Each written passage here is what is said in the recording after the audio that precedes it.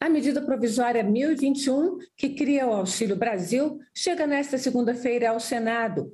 Para seguir valendo, a MP tem de ser aprovada até o dia 7 de dezembro.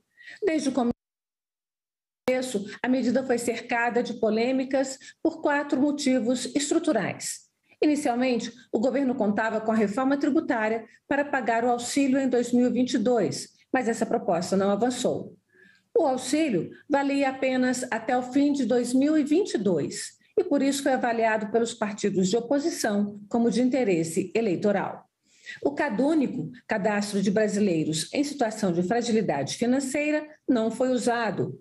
Os beneficiários tinham de fazer nova inscrição em um sistema via internet, nunca antes testado. Além do auxílio propriamente dito, foram criados outros cinco programas sem parâmetros bem definidos para a entrada. Sem a reforma tributária, o governo apresentou a PEC dos precatórios como fonte de recursos para pagar o auxílio em 2022. E por isso, as duas propostas, PEC dos precatórios e MP do auxílio emergencial, ficaram umbilicalmente ligadas, tramitando de forma combinada.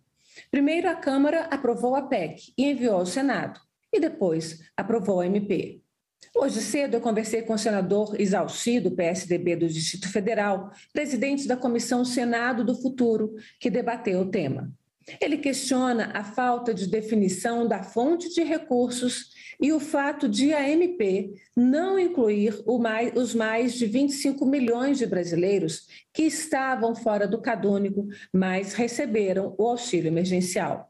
Nesta terça-feira, o relatório do senador Fernando Bezerra, que também é o líder do governo, deve ser votado na Comissão de Constituição e Justiça.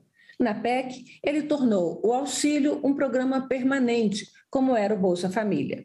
E incluiu emenda para que o governo identifique a fonte de recursos para financiar o benefício a partir de 2023, como determina a Lei de Responsabilidade Fiscal. Com essas mudanças, o relator espera superar duas das resistências fundamentais à aprovação da PEC.